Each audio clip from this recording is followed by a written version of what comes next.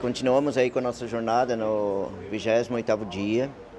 É, no dia de hoje tivemos aí já de manhã é, a nossa mobilização em frente à Embaixada, à Embaixada do Brasil para entregar o prêmio racista do ano ao governo Bolsonaro, que a Embaixada nos recebeu e ficou de encaminhar o, é, o prêmio ao governo Bolsonaro.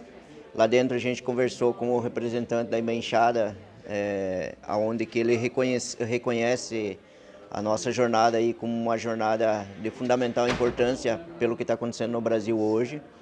Lamentou muito pela morte do Paulo Guajajara.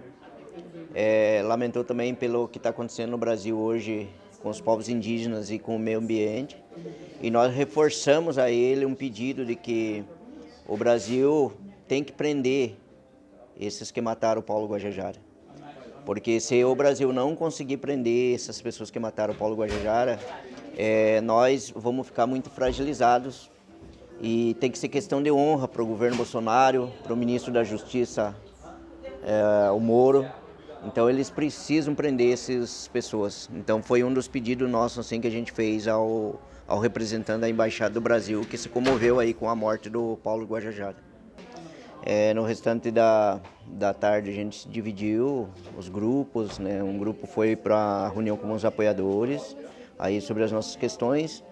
É, outro grupo, a gente foi para o Greenpeace e à noite a gente teve um jantar aí com a Survival Internacional, que é um dos nossos companheiros aí para as denúncias do que está acontecendo com nós no Brasil.